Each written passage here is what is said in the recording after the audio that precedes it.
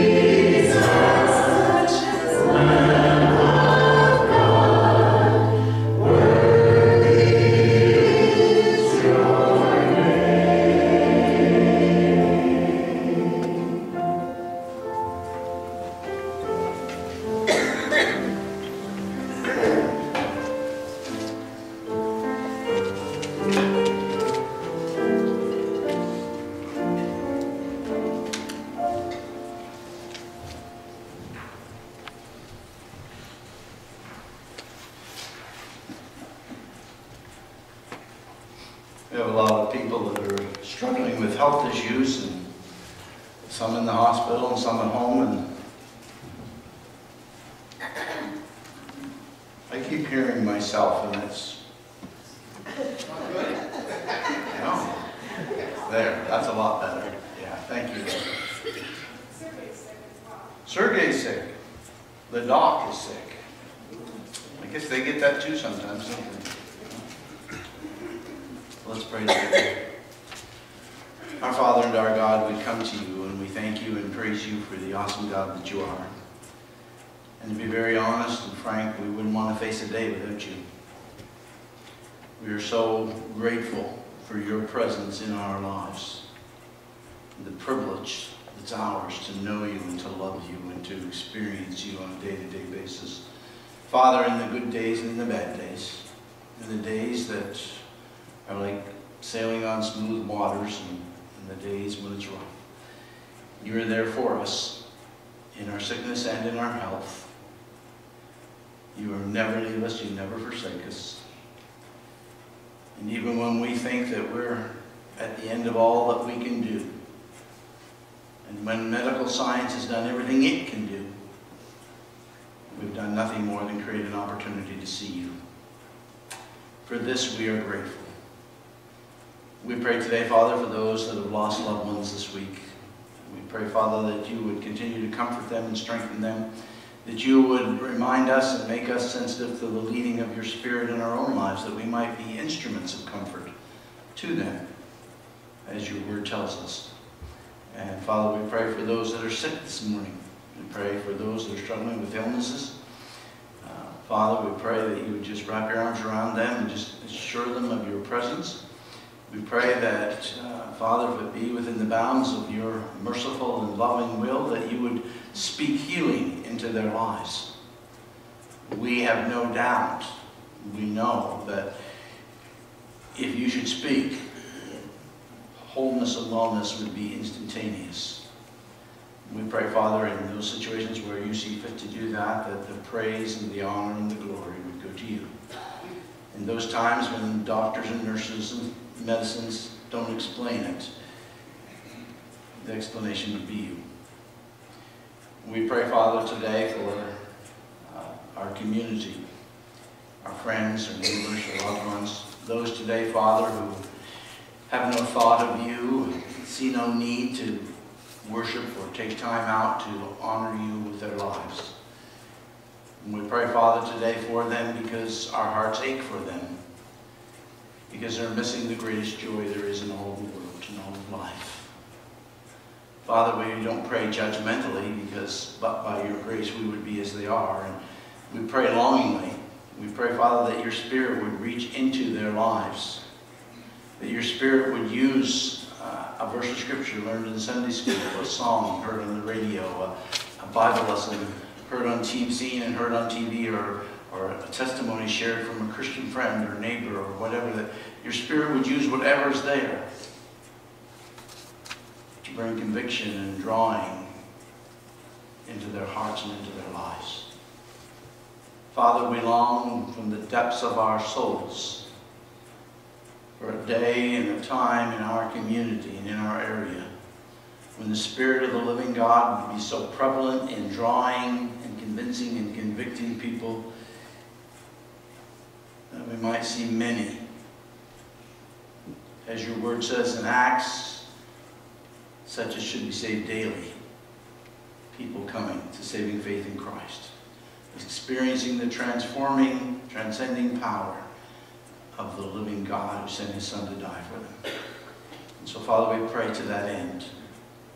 We pray today, Father, for the ministry of the gospel. We think of our own mission team that is home now, but have been busy this week and have been used, being used by you. We pray for their labors and the fruits of their labors, that, Father, much would be accomplished and has been accomplished and will continue to be accomplished. that many lives will continue to be touched by Jesus and by your Spirit through their efforts and their labors.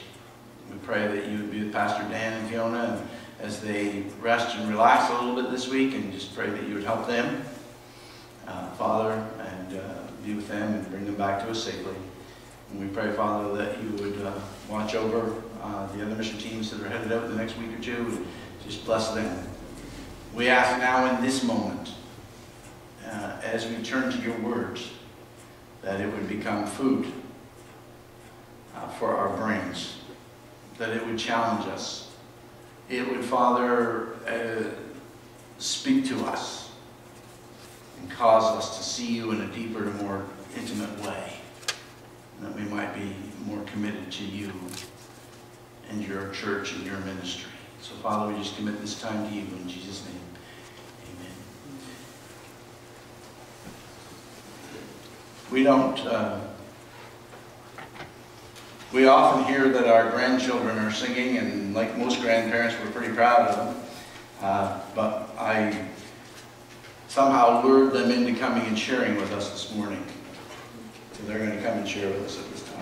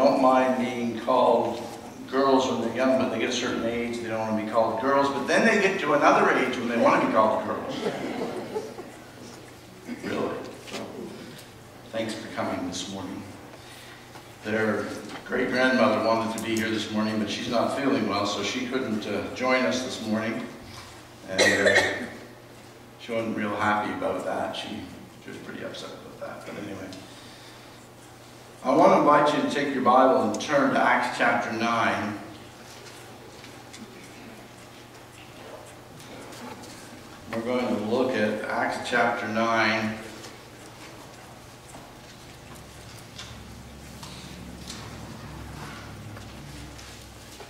Beginning with verse 1, we're going to read the first eight verses.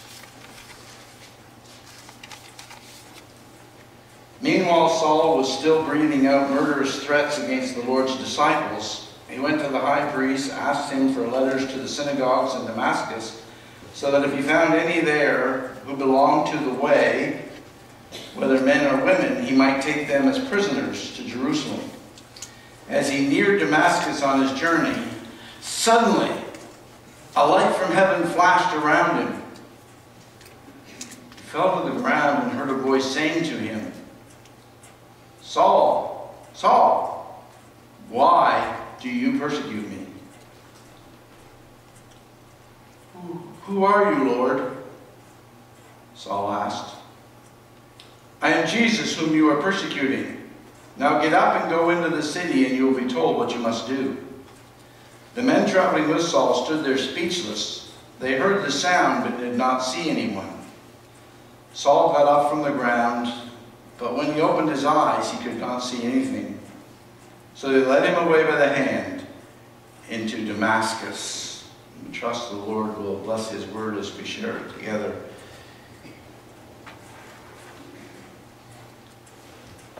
Saul was a very religious man. Grew up in the church. He was a Pharisee, the son of a Pharisee.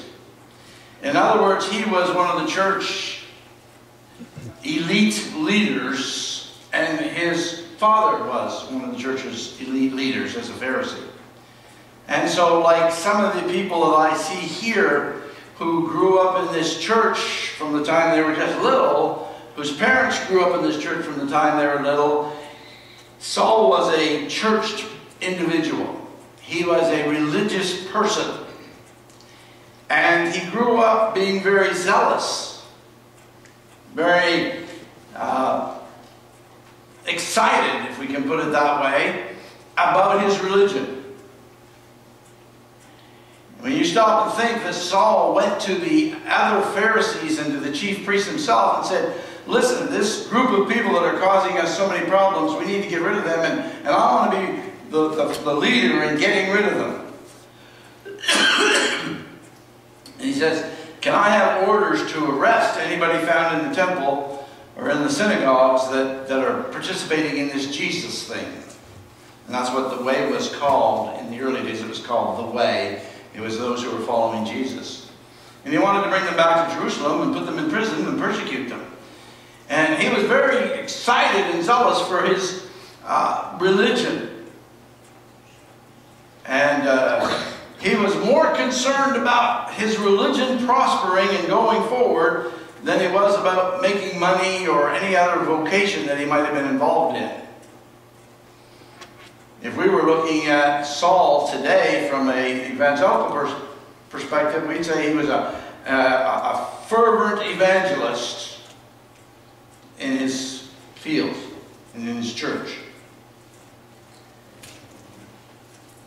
And yet here in Acts chapter 9, as in his excitement and zeal, he's heading to Damascus. Suddenly, Saul falls to his knees and is overcome by the brilliance of something he's never experienced before, something he's never seen before, something that he doesn't understand. And yet he senses someone's presence in this meeting. And he goes, Who are you? Who are you? Saul, like so many, was caught up in his religion.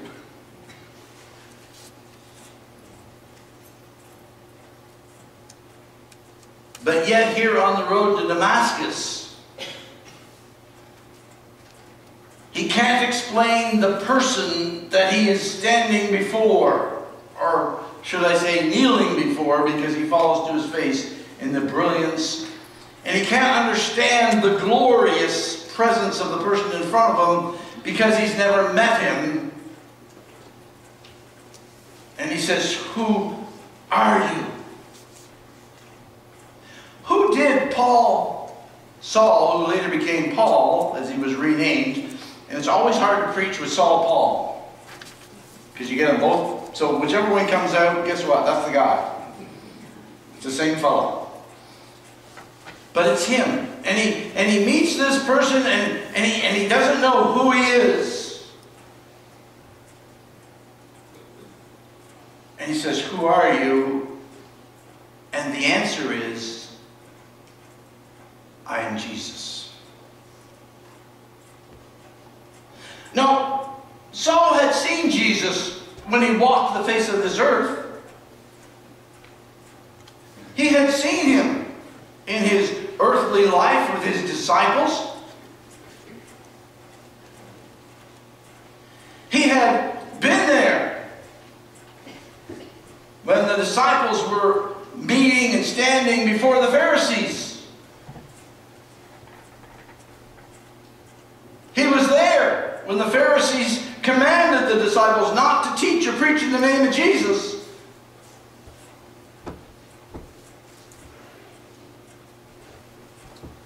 He thought he knew Jesus. He thought he knew who Jesus was and what he was like. But here on the road to Damascus, he met Jesus.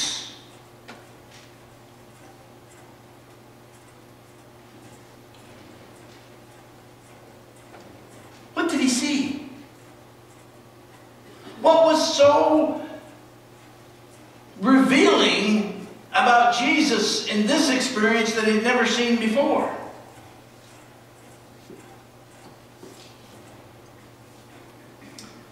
Well, you see, Saul had seen him as Jesus the man. But this day he saw him as Jesus God. A lot of people think Jesus was a wonderful man. A lot of people say he was a really good man. He did a lot of wonderful things, but they don't accept him as God. The Jehovah's Witnesses don't accept him as God. But here on the road to Damascus, even the Pharisees and the religious elite of the Jewish community didn't accept him as God when he walked this earth. But here on the road to Damascus, as he fell before the brilliance of the presence of the living God, he realized and found out that Jesus was God. He was who he said he was. All the time he walked this earth, he said he was God. That the Father and him were one. He saw the glorious presence of God on the road to Damascus. In Revelation chapter 1, it gives us a, a, an appearance of Jesus from the Apostle John on the Isle of Patmos. And it says, I turned around, verse 12, and see the voice that was speaking to me, and this is Jesus talking to John, and he says, When I turned, I saw seven golden lampstands, and among the lampstands was someone like a son of man, dressed in a robe reaching down to his feet, and a golden sash around his chest. The hair on his head was white like wool, as white as snow, and his eyes were blazing fire. His feet were like bronze glowing in a furnace, and his voice was like the sound of rushing waters. In his right hand he held seven stars, and coming out of his mouth was a sharp two-edged sword. His face was like the sun shining in its brilliance, and when I saw him, I fell at his feet as though dead. Paul met the glorified, risen Christ, who was God. God the Father, God the Son. He saw him in Revelation chapter 21. It says, I did not see a temple in the city. It's talking about heaven. Because the Lord God Almighty and the Lamb are its temple. The city does not need the sun or the moon to shine on it, for the glory of God gives it light. And the Lamb, talking about Jesus, is its lamp.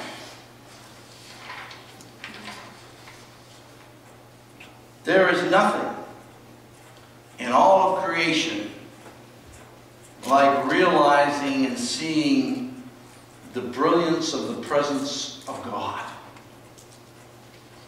If you've ever stood on the shore at the edge of the ocean in the early hours of the morning as the sun bursts above the shoreline and the first rays begin to fill the world, that part of the world that you're in, and see the brilliance of it. What a beautiful sight. Some of us have had the privilege to see mountains up close and watch as the setting sun, with all of its golden rays, drops down behind the snow-capped peaks, and you stand in awe. Central America, on one of the mission trips, I watched a 250-foot waterfall uh, cascading down the side of a mountain, dropping into a pool of water. And as the sun reflected, and the little looked like rainbows, and all the things that go with it, you stand in awe. As a parent, and more so in our generation and our children's generation than the generations before. But when you see and hear that baby as it's first born, and the cry, you stand in awe. I can remember a Sunday school teacher, and who you'll like this one because he took us over to the Miramichi somewhere that way, and it was and, and, and I saw for the first time in my life salmon trying to get up over rapids as they jump out of the water. And I was mesmerized. Susan and I saw three deer on our way up this morning standing looking at us like I said, like they were saying, what are you guys in hurry for? Beautiful. There are dozens and dozens of things that we can describe that we see in life and they're awesome to us. There's nothing compares to that moment when you see Jesus and realize who he is.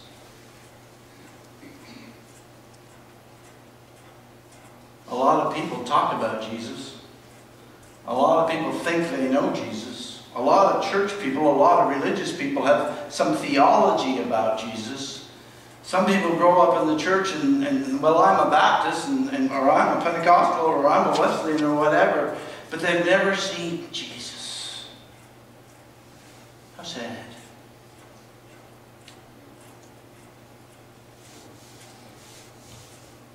Jesus, God. The Bible says nothing was created without His hand being involved in it. And this is the Jesus who, who separated the water from the earth on the day of creation. This is the Jesus who spoke. And sunlight came. And a moon came. This is the Jesus, the God who spoke. And animals were there. And plants came out and flowers, and they're so beautiful. This is the Jesus. This is Jesus who's God. He's not just Jesus of some religion. He's not just some Jesus of, of, of Hebrew history or anything else. He's God, Jesus.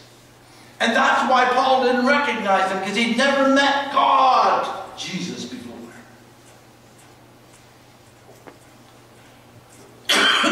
Excuse me. The creator of the universe. And all of the things that we see Saul not only experienced the glory of God, Jesus, he met the risen Savior. He met the risen Savior. I don't know if he saw Jesus when he walked after that 40 days after he was risen on the earth before he ascended. But today, he met the risen Savior. Saul, who did everything he could do to destroy the church. Saul, who did everything he could do to persecute and torture Christians. Now on his face be before the one he was persecuting. Jesus, I am Jesus the one you are persecuting. Risen Savior. Think about this for a second. Here's Saul, and, and he's out there persecuting and having put to death and, and, and wreaking havoc and trying to destroy all that Jesus is trying to build. And suddenly he stands and he falls before his face, and there's Jesus. What do you think went through his mind? I know what would go through mine. Uh-oh, I'm toast.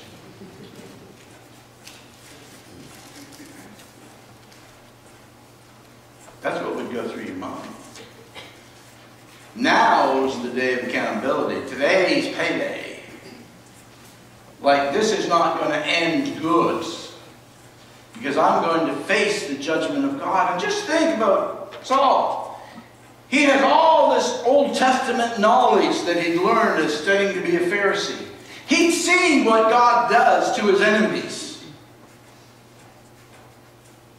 And suddenly he, the enemy of Jesus Christ, is on his face before Jesus. I know in my heart he had to be afraid. I would be. But he meets the risen Savior. The transforming love and grace of God is what he experiences. Oh no, he's not put to death. He's not sent straight to hell. Jesus looks at him and says, I've got something for you to do. I've got something for you to do. Doesn't make sense to me, John Newton penned it, Amazing grace, how sweet the sound that saved a wretch like me. I once was blind, but now I see. It's grace that taught my heart to fear, and grace my fears relieved. Saul met the risen Savior. He met the one who, before he knew anything about it, had planned and put into place all of the events that would bring himself to this old earth to be mocked and ridiculed and crucified for Saul, that he might experience the forgiving grace of God. He met Jesus, God, and that's pretty terrifying. He met Jesus, the Savior. He met the grace of God God's riches at Christ's expense. In that thorough study of the Old Testament, I'm sure he thought about it many times in those few minutes what his punishment might be. But Jesus said, Get up, I've got something for you to do. In Luke chapter 19, verse 10, it says, I have come to seek and to save that which was lost. And that meant Saul. When Jesus left heaven, he had in his mind. Saul was lost. He might be wretched, miserable, terrible individual when it came to Christians, but he was a lost soul that needed the grace of God. And so God sent Jesus. And Saul met him on that day in the road to Damascus. He didn't think he was lost. I guarantee you he did not think he was lost. He grew up in church. He was a religious leader. He was zealous and on fire for his religion. And, and he knew about God of Abraham, Isaac, and Jacob. And he knew about God of David and Elijah and Elisha. And he could probably quote all kinds of scripture from the Old Testament. And he didn't think he was lost. He thought he was on the right way. Do you know what the Bible says? The Bible says in Proverbs 16, 25, there's a way that seems right to a man, but the end thereof is death. And you see, it doesn't matter if you grew up in the Hartland Baptist Church, People's Church, the Wesleyan Church, the Pentecostal Church, the Presbyterian Church. Doesn't matter if you grew up in church and you can quote the scripture from the back to the front. If you haven't met Jesus, you're still lost. He met Jesus. And this tremendously religious man that a lot of people looked up to as a religious leader got saved. He experienced the transforming, loving grace of God.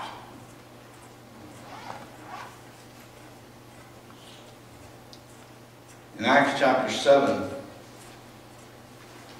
verse 54 through 60, we read these words. When the members of the Sanhedrin heard this, they were furious and gnashed their teeth at him. But Stephen, full of the Holy Spirit, looked up to heaven and saw the glory of God and Jesus standing at the right hand of God. Look, he said, I see heaven open and the Son of Man standing at the right hand of God.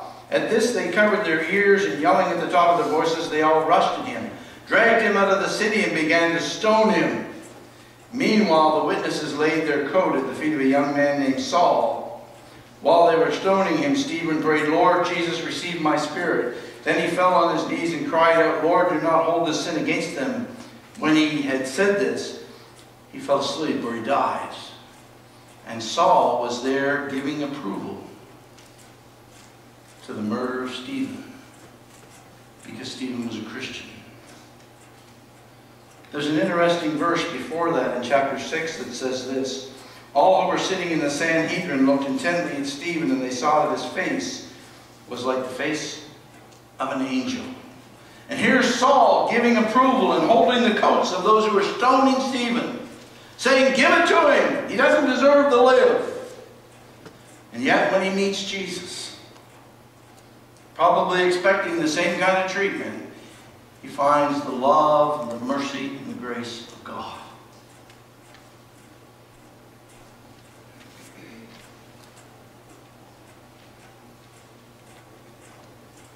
I believe that Saul, in those moments, on the ground before Jesus, not only seen Jesus, but he also saw the face of Stephen.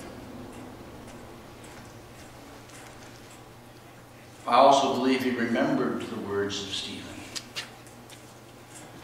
I believe that the life of Stephen, Stephen so impacted Saul's life that when he met Jesus, under the conviction of the Holy Spirit, he realized that Stephen had met Jesus. And when Stephen said, I saw Jesus, he was telling the truth.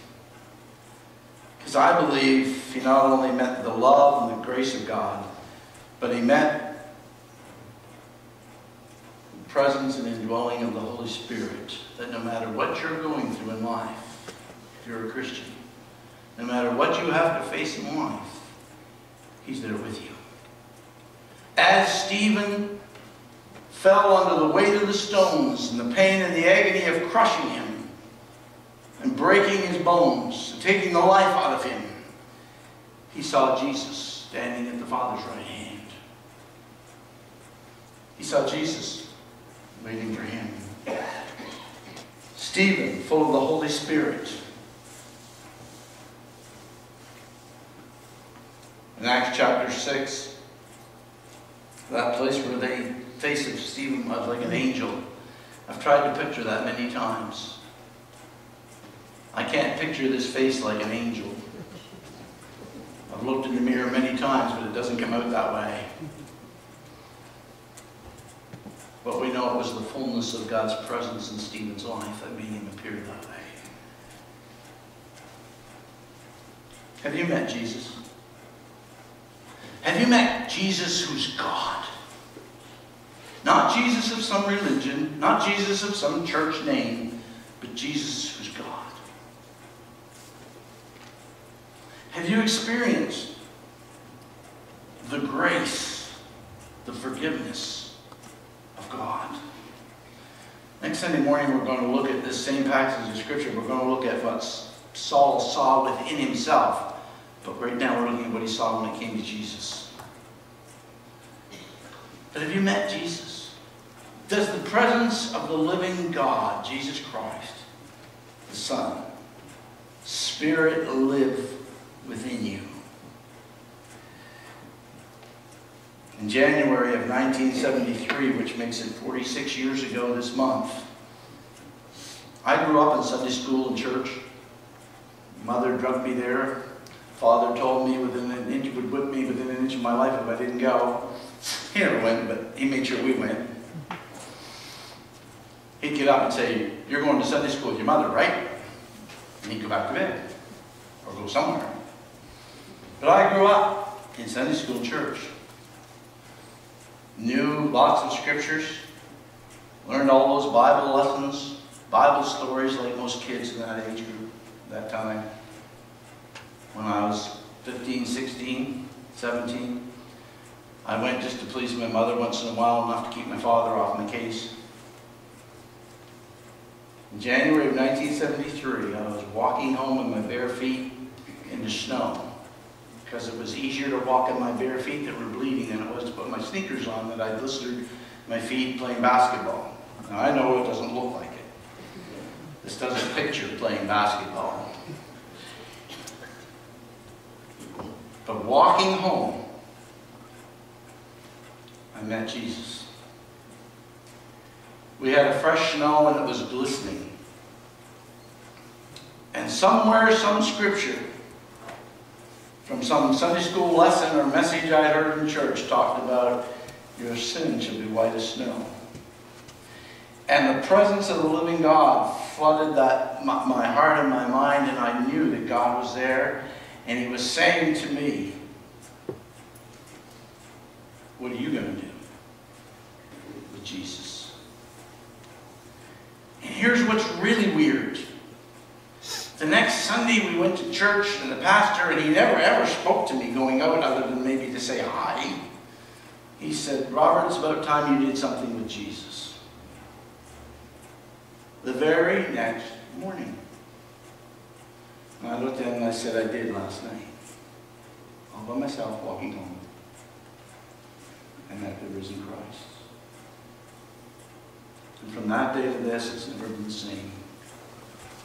And my greatest heart's desire is that, no, there's been rough days and tough days and everything else, but my greatest desire is that my children and my grandchildren and my family and my friends and my neighbors and the people that I live around would know the tremendous joy of Jesus.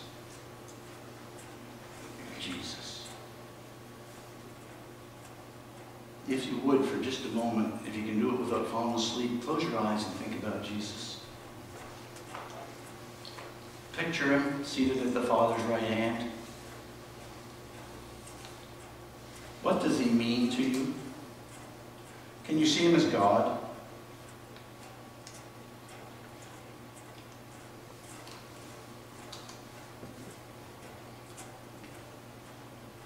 There's a song that fills my heart all the time, and I try to sing it all the time. Since I started for